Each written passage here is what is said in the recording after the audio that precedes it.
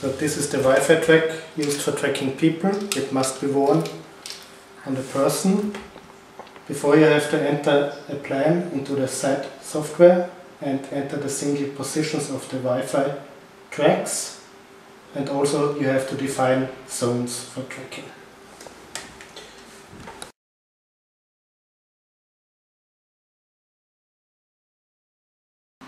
Before we start we have to enter the MAC address into the block and then we can start the model. And now when I start walking you can see the track.